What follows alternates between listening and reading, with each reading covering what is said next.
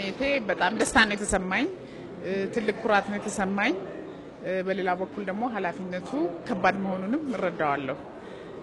መንግስት ይሄንን ኃላፊነት ትወጣዋለች፣ ይሄንን ኃላፊነት ለመሸከም ትችላለች ብለው ይህን ኃላፊነት የሕዝብ ተወካዮች ምክር ቤት ጠቅላይ ሚኒስትሩ ስለሰጡኝ ትልቅ ኩራት ይሰማኛል። እንግዲህ ምንድን ነው ከህዝቡ ከአንቺ የሚጠብቀው የምትለው፣ በቀጥታም ይሁን በተዘዋዋሪ እድሜ ልኬን ስለ ፍትህ ነው የሰራሁት፣ ስለ ፍትህ ጉዳይ ነው የሰራሁት። እና ጉዳዩ ለእኔ አዲስ አይደለም። ይሄ የኔ የስራ ፍላጎት ነው፣ ውስጤ ያለና የማምንበት ጉዳይ በመሆኑ ከልቤ ሰርቼ ውጤት ለማምጣት እንደምጥር አውቃለሁ። ይህንን ደግሞ አልጠራጠርም። ኢትዮጵያ ውስጥ እኔ ባደግኩበት ጊዜ አንድ ሰው በህግ አምላክ ካለ መንገድ ላይ እንኳን ሰው ይቆማል። እኔ በማድግበት ጊዜ አሁን ግን ያ የህግ ኃይል እንደ በፊቱ ጠንካራ ሆኖ አይታይም። ሰው ይሄን ያህል እምነት የለውም። ይሄ የሚሆነው ምንድን ነው? ዋናው ምክንያት በፍርድ ቤቶች ላይ ያለው እምነት ስለተሸረሸረ ነው። ህግ ካልተተረጎመ በተገቢ ሁኔታ በፍርድ ቤቶች ተገቢ ውሳኔ ካልተሰጠ እና ተግባራዊ ካልሆነ ወረቀት ላይ ነው የሚቀረው። ህግ ወረቀት ላይ ነው የሚቀረው። ስለዚህ በህግ አምላክ ስንል በሌላ በኩል የህግ አምላክ ፍርድ ቤት ነው ማለት ነው እና በዚህ ምክንያት ነው ኃላፊነታችን እኔም ሆንኩኝ ዛሬ ከኔ ጋር የተሾሙት ምክትል ፕሬዚዳንት አቶ ሰለሞን አደራ እንዲሁም ሌሎች የፍርድ ቤቱ ባልደረቦች ኃላፊነታችን ትልቅ ነው የሚለው ይሄንን የፍርድ ቤት ስራ ተገቢውን ቦታ መልሰን ማስያዝ በመሆኑ ነው። እንግዲህ አሁን ቢሮ ከገባው በኋላ ያለውን ሁኔታ ማጥናት አለብኝ።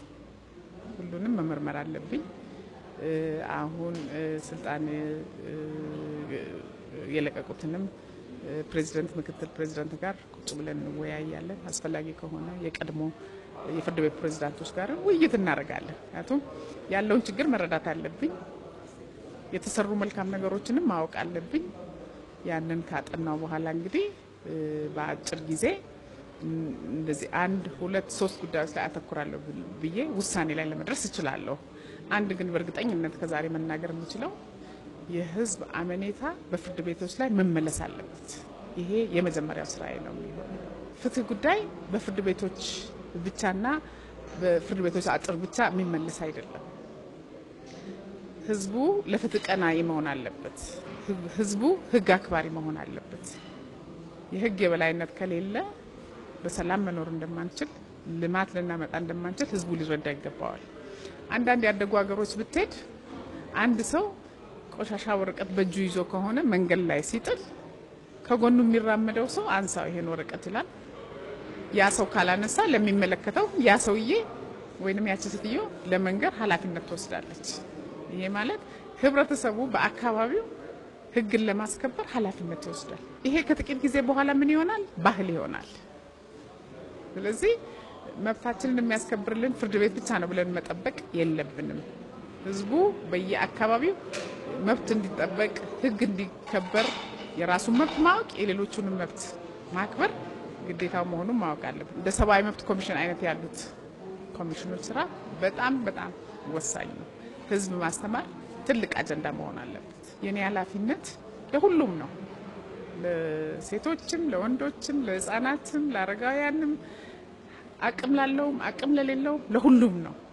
የፍትህ ምልክት ታስታውሳት እንደሆነ ሴት ነች፣ አይኗ የተሸፈነ ነው፣ ሰይፍ ይዛለች፣ የህግ መጽሐፍ ይዛለች። ፍርድ ቤቶቻችን እንግዲህ ወደፊት በዚህ የሚመሰሉ ይሆናሉ ብዬ ተስፋ አደርጋለሁ። ሴቶች በህብረተሰቡ ውስጥ አቅም ከሌለው ክፍል ውስጥ ናቸው። ስለዚህ ጠንካራ የሆነ ነፃ የሆነ ፍርድ ቤት ከተቋቋመ ሁሉንም ጠንካራውንም ደካማውንም እኩል የሚያገለግል ፍርድ ቤት መገንባት ከቻለን ሴቶችም ተጠቃሚ ነው የሚሆኑት። ስለዚህ የቀድሞ ጥረቴ በዚህ መልኩ ደግሞ እንደገና ሰፋ ባለው ሁኔታ ደግሞ ተካቶ መልስ ያገኛል ብዬ አስባለሁ።